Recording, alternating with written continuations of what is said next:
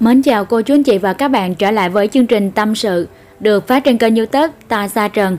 Cảm ơn cô chú anh chị và các bạn đã luôn theo dõi và lắng nghe. Mến chúc cô chú anh chị và các bạn thật nhiều sức khỏe và luôn luôn bình an. Trong chương trình ngày hôm nay, Ta Sa xin gửi đến cô chú anh chị và các bạn dòng tâm sự. Vừa trả hết nợ thì phát hiện chồng ngoại tình, biết kẻ thứ ba là ai, tôi run rẩy sợ hãi. Nghi ngờ chồng chơi cá độ đá banh lại, tôi lén lút đọc trộm tin nhắn của anh thì phát hiện chồng tôi ngoại tình. Đó là những lời mở đầu trong dòng tâm sự mà ngày hôm nay ta sao muốn chia sẻ đến cô chú anh chị và các bạn. Thì để biết dòng tâm sự này có tình tiết như thế nào, sau đây ta sao mời cô chú anh chị và các bạn cùng lắng nghe. Tôi và anh yêu nhau 3 năm mới tiến đến hôn nhân và hiện tại đã có hai bé, nếp tẻ đủ cả. Thật ra anh không phải là hình mẫu mà tôi thích, nên ngày trước tôi đã từng từ chối tình cảm của anh, nhưng vì anh kiên trì theo đuổi mà tôi đã mềm lòng. Trước khi cưới, tôi biết anh có chơi đồ bóng đá. Nhưng lúc đó tôi suy nghĩ ngây thơ rằng anh sẽ thay đổi. Tuy nhiên tôi đã sai. Sau khi cưới anh vẫn chứng nào tật nấy. Tôi giận dỗi, nói nặng nói nhẹ như thế nào thì anh vẫn đâm đầu vào đó. Khi con đầu lòng của tôi được 5 tuổi và con thứ hai hơn 1 tuổi, anh chơi độ thua đậm hơn 1 tỷ đồng.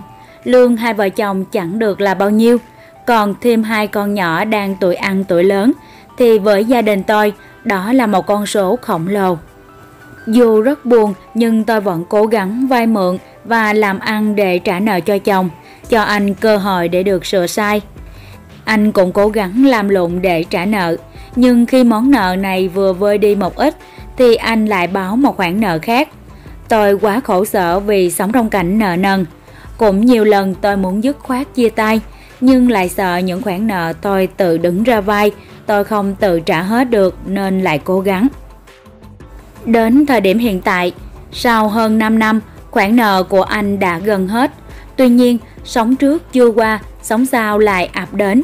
Gia đình tôi mới hạnh phúc chưa được bao lâu, thì vô tình tôi lại phát hiện bí mật động trời của chồng.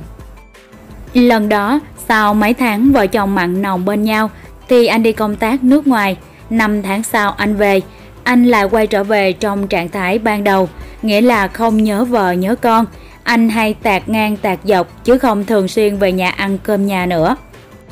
Nghi ngờ chồng chơi cá đầu đá banh lại, tôi lén đọc trộm tin nhắn của anh thì phát hiện chồng tôi đang ngoại tình. Nhân tình của anh không phải là một cô gái trẻ đẹp mà là một người đàn ông hơn anh 15 tuổi. Trong điện thoại của anh tràn ngập hình ảnh tình tứ và tin nhắn mùi mẫn giữa anh và người đàn ông ấy. Đau đớn tột độ, tôi thẳng thắn nói chuyện với chồng. Anh không chối quanh chối qua mà trực tiếp thừa nhận luôn. Đúng vậy, anh là người song tính, anh chưa từng yêu em, anh thật sự xin lỗi em.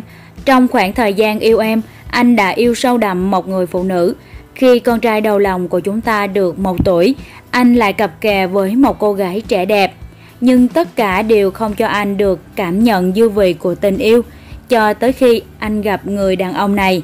Anh yêu anh ta. Từng lời chồng nói như từng nhát dao đâm xuyên trái tim tôi. Tôi không ngờ chồng mình lại là người như vậy và tôi cũng không ngờ mình lại ngu dại trong cuộc hôn nhân này suốt 10 năm mà không nhận ra điểm bất thường nào. Đáng nói hơn, tại sao anh ta có thể bình tĩnh, thản nhiên ngồi kể từng tận những chuyện này cho tôi nghe được chứ? Tôi thật sự run rẩy và sợ hãi. Đến nước này thì tôi chẳng còn lưu luyến gì nữa.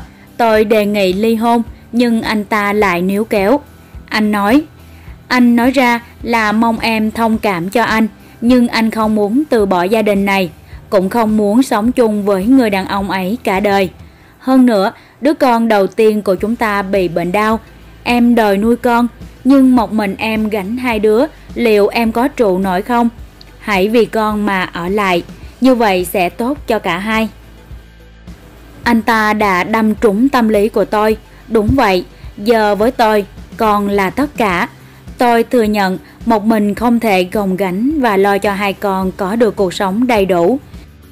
Thế nhưng, cứ sống như thế này, tôi sợ bản thân mình không chịu được sự cô đơn.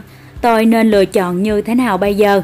Nên ly hôn hay tiếp tục làm rào chắn để che giấu sự thật về giới tính cho chồng?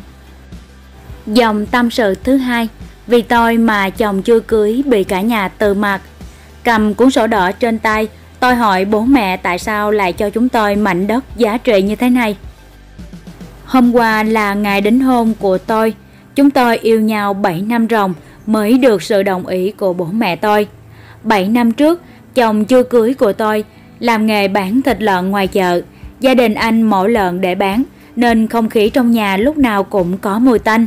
Trong khi đó, bố mẹ tôi ăn chay trường và thường xuyên giúp đỡ người khác. Làm từ thiện đã trở thành truyền thống được duy trì bao thế hệ qua trong gia đình tôi.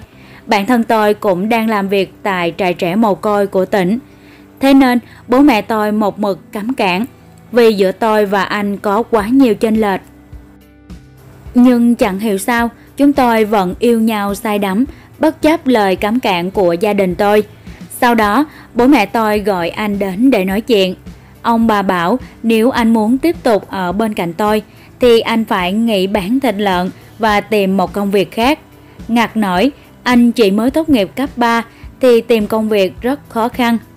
Nhưng tôi không ngờ, anh lại đồng ý ngay. Anh nói bố mẹ tôi hãy cho anh một cơ hội để chứng minh tình yêu với tôi. Sau đó, anh nghỉ bán thịt heo thật, anh đi học nghề sửa chữa ô tô. Nhờ chăm chỉ nên anh nhanh chóng được sự tín nhiệm của chủ xưởng. Hiện tại, sau 6 năm, anh đã là một người thợ có tiếng ở xưởng và có mức lương 20 triệu đồng một tháng. Biết tôi không chịu được mùi tanh ở nhà mình, nên anh đã nhiều lần khuyên gia đình nghỉ bán. Nhưng đó là nghề truyền thống của nhà anh, nên không ai đồng ý. Thế là anh đã tiết kiệm vay thêm ngân hàng để mua một miếng đất riêng, xây dựng một căn nhà mới làm tổ ẩm cho chúng tôi. Cũng chính vì chuyện này mà anh bị gia đình từ mặt. Mẹ anh nói nghề đó đã nuôi anh khôn lớn, giờ anh quay về yêu cầu bố mẹ bỏ nghề thì khác gì ăn cháo đá bát. Hôm qua là ngày đính hôn của chúng tôi, sau 7 năm, cuối cùng tôi và anh cũng được đeo nhẫn vào tay nhau. Bố mẹ tôi bất ngờ tặng cho chúng tôi một cuốn sổ đỏ là mảnh đất ở trung tâm thị trấn, có giá hơn 6 tỷ đồng.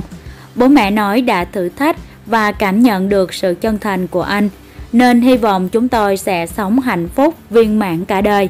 Mảnh đất này chính là của hồi môn cho tôi. Tôi biết ơn bố mẹ mình nhiều lắm, nhưng tôi cũng thương chồng chưa cưới quá, vì gia đình anh vẫn còn giận nên chẳng nhìn mặt con trai. Ngày đính hôn, bố anh chỉ sang chứng kiến rồi về, chứ không ở lại dự tiệc. Có cách nào để hòa giải mối quan hệ giữa anh và gia đình anh không? Nếu đến ngày cưới mà tình hình vẫn căng thẳng như thế này thì tôi phải làm sao? Thật sự tôi đang rất khó xử. Như vậy là Tasa vừa mới chia sẻ đến cô chú anh chị và các bạn hai dòng tâm sự của chương trình ngày hôm nay.